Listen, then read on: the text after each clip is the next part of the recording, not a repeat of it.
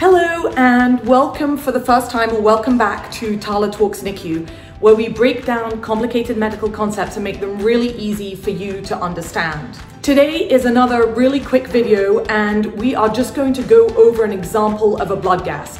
So hopefully by watching this, you'll have kind of a better idea of how to interpret blood gases by yourselves. So you have a patient who's just a feeder grower in the NICU. He's on room air and suddenly just starts having more A's and B's, occasionally having tachypnea, occasionally not really breathing at all, and starts looking like this kind of grayish color. So you go ahead and get an arterial blood gas. And these are the results of the blood gas. A pH of 7.12, a CO2 of 29, oxygen of 25, a bicarb of 10, and the base is minus 12. So how do we analyze this? So the first thing that you're looking at is, is this baby acidotic or alkalotic? So the first thing that we look at is the pH.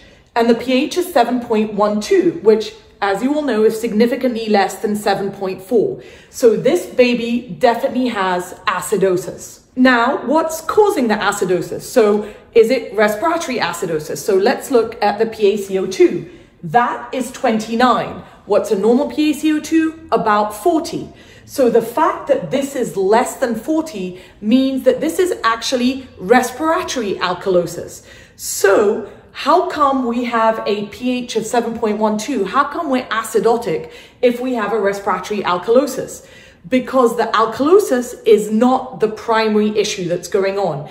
Clearly, this baby must have something else going on and the body is trying to compensate with by creating a respiratory alkalosis. So let's confirm this. What do we look at? We look at the bicarb and the base. So the bicarb here is 10, it should be around 20. So the fact that we have much less bicarb than we should have, and as you all know, bicarb is alkali or a base. So if you have less of it, then therefore you do have an acidosis.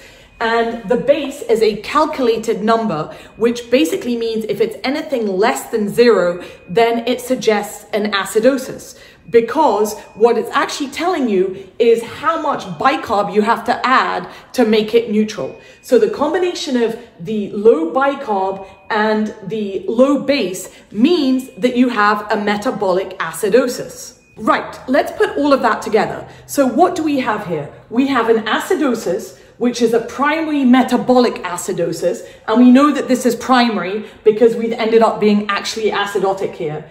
And then we have a compensatory, we assume, respiratory alkalosis. So here, because the CO2 is less than 40, we have an alkalosis. So what is the body trying to do?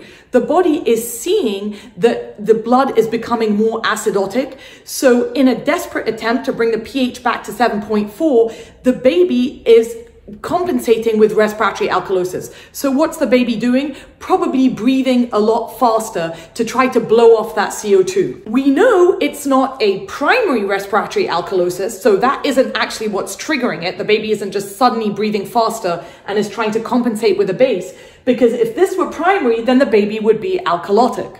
The other thing that you have to understand is that a compensatory respiratory alkalosis can happen immediately. So it's not like with a compensatory metabolic alkalosis. So for example, say the baby suddenly has an increased CO2. They've got a lot of secretions or something in their endotracheal tube.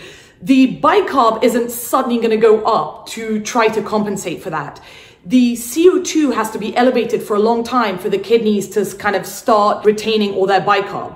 It's very different with a metabolic acidosis.